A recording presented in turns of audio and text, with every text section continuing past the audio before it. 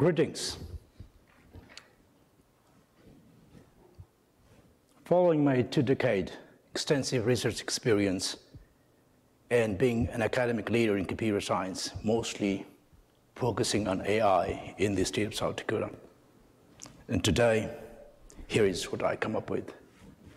AI for all and for good. Let's go back and take a look how ancestors were trying to do. Our ancestors back then were worried about sending kids to the school.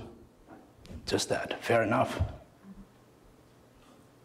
The primary motive behind this was to increase literacy rate, let them educated. The whole game today is different. Our focus is to raise awareness of how applied AI use cases happen for everybody. Before I start digging down a little, little deeper, let me ask you this. How many of you, raise your hand, how many of you are aware of using any sort of AI tool for your day-to-day life work? Beautiful. This is expected. And that's the talk is about. Not you are. I'm not surprised too. Let me start with something beautiful.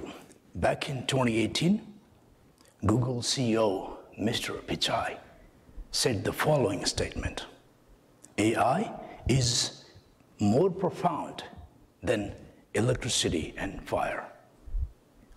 Beautiful statement. But for me and for you, it was a little more emotional and full of sentiments in it. We take it, but in line with that statement, let me pick some of the beautiful quotes by the futurist, well recognized futurist. One of them said, AI, the one who leads in AI by 2030 will lead the whole world until 2100. Beautiful. At the same time, if that's going to happen, then there is a way to see AI must be exponentially growing until 2032 or so. These two codes set the clear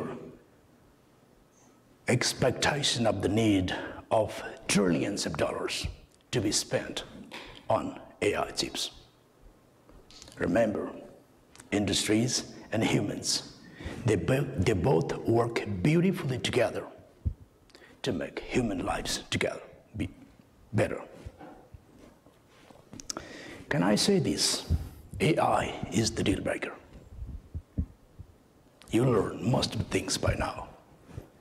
AI can make a difference or deal anywhere ranging from automation industry, robotics we're talking about, digital humanities. USD is working on that. An ancient document digitization is one of them. Healthcare, future epidemics, is going to come and AI would solve some of the potential problems. Fashion industry and all the way up to service to the people. That's what we're looking at. And it's all beautiful. To make it beautiful, more beautiful, let me have this. We are in South Dakota. We should take an example of precision agriculture precision ag. Here is a farmer. A farmer is aiming at optimizing the yield by reducing the cost. I'm talking about bank loan. What could have been better today is if a camera integrated drone is flying around and all over the field and help me, you, learn about where the weeds are through image analysis or imaging tools techniques. the amount of spray you have to do is going to go all the way down. You don't have to uniformly or consistently apply pesticides control everywhere. What does it mean is you don't have to pay a lot of money on that. And of course, the yield is obvious. By now, like everywhere, we understand the fact that AI is not for computer science and or computer scientists. AI for you, you, and you. Academically, I'm talking about non-computer science majors. Why is that? Interesting. Let's talk about today's trend in data science market. If I say how many of us work as analysts, obviously a couple, handful of people will raise their hand. 60% or more data analysts today are coming from non-computer science background. We're talking about market, job market. They come from humanities, social sciences, business, arts, and so on. When they come to the market, they come up with the beautiful and pressing challenges, problems, and projects with them. As they understand the sentimental values of the data at the time when we collect data and at the output when machines making decisions. What a beautiful story. Understanding the sentimental values of data is the only way to sell AI tools. Did I not just talk about AI in business world? Beautiful. Like it or not, it is inevitable. It's gonna come. Nearby your house, my house, soccer playground everywhere. Energy optimization is one of the beautiful topics in the universe that we have been working on as, AI, as an AI scientist. Why did I say energy optimization? Reason, energy cannot be created nor be destroyed. It is us to optimize as much as we can. AI for casual education is the one that we should be looking at for the better generations to come. At the same time, when it takes safety of the nation into account, cyber analytics is no exception. Then here is a beautiful piece with the following statement.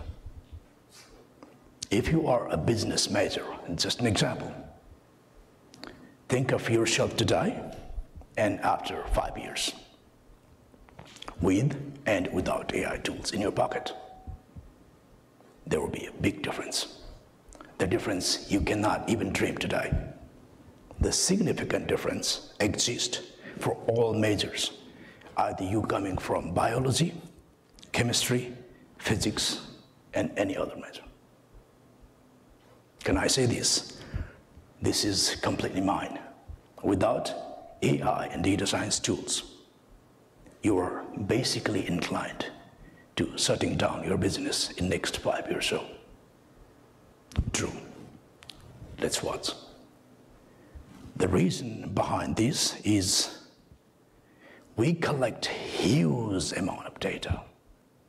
The data you cannot manually label, you cannot manually organize or analyze. What I'm trying to tell you is the following quote. Your domain is the hat. And AI, data science tool, is the beautiful ever feather in the hat. That feather, I'm referring to AI and data science, would make you clearly stand out in your domain. That's the guy. He's got the feather. Everybody's wearing hat, not the feather in the hat.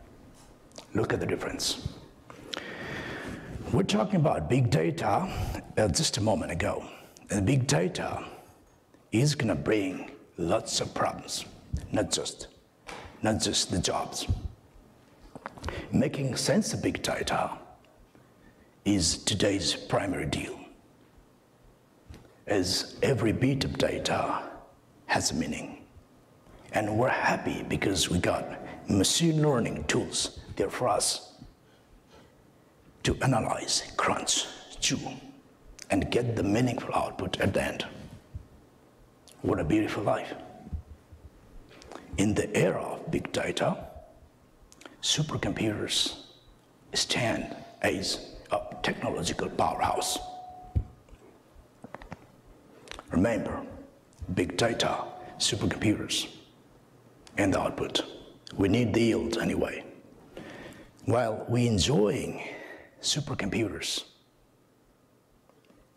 anywhere from Google, Tesla, Amazon, all the way up to crypto. Who doesn't like it? We forget and we've been missing the consequence of how supercomputers is doing. The consequence, the potential consequence, is the environmental impact. Did I not say ChatGPT? Who is going to forget that?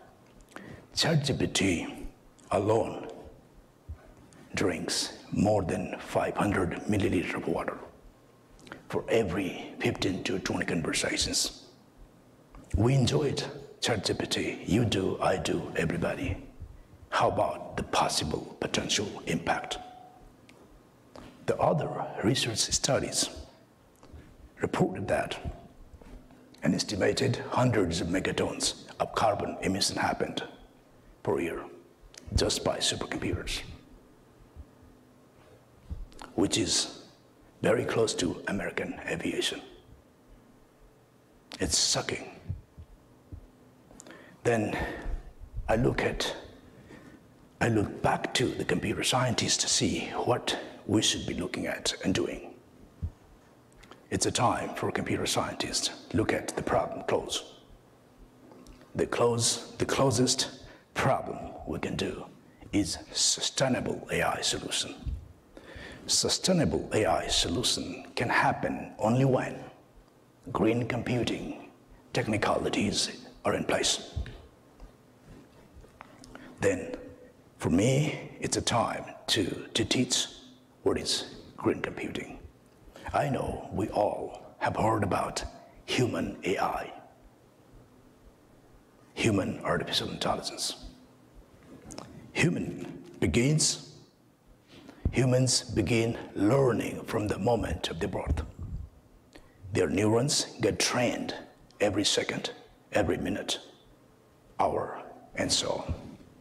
Remember, one human brain is composed of 86 billion neurons. Do you think all of our neurons we use every day? Let me simplify this. If I say somebody, let's, let's go for a coffee after the event, how, much, how many seconds you would need to reply back to me? Probably less than 30 seconds. Now you realize that you have not used all neurons you have in your brain. Let me do the other way around. If you get a complicated, a little more complicated ask, maybe science, math, or calc, who does like calc? then you would take a little more time, maybe a day, asking your friends, or use all neurons you have. That will delay the process. When we get a stress, that time we use all neurons we have, or maybe many of them. That, that day we need more food because we almost go fat. What I'm trying to tell you is using more neurons, meaning consume more energy. Humans don't use all neurons, even we have billions of them. Understanding the use of right subset of neurons for any ask from simple to difficult is what the human AI is about. Then, as a computer scientist, can I not build that kind of AI model So that's the model, exact replica of human AI. That's what a computer scientist and everybody in the world should be looking at. A- an AI model is composed of hundreds of layers, and one layer has thousands of thousands of neurons. On top of that, we have so many numbers, and parameters we call, to play with. Let us build that neural network where we use those neurons according to the ask simple to difficult. I'm trying to help you understand if the ask is simple, I don't have to use all neurons I have in my AI model. Less neurons, can, using less neurons, meaning having less energy. Having less energy, there is no real carbon footprint. Let me go back. Carbon footprint is serious. It is a time for us to invest on sustainable AI solutions. That's what it is. Ladies and gentlemen, let's build the future together. The future of sustainable AI solutions with green computing in place and no to carbon footprint. So my kids, your kids, kids, they live beautiful life like we have today. Thank you very much.